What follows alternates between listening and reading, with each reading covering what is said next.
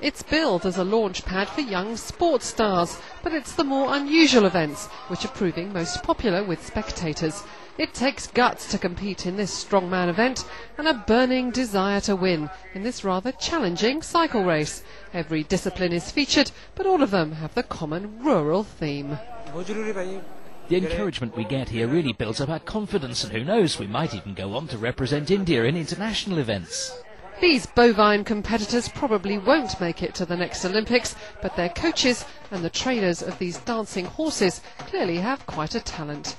I come from a village and events like this help young people. The cash prizes are a big attraction and the sports themselves help keep young people off drugs, which are a real problem in rural areas.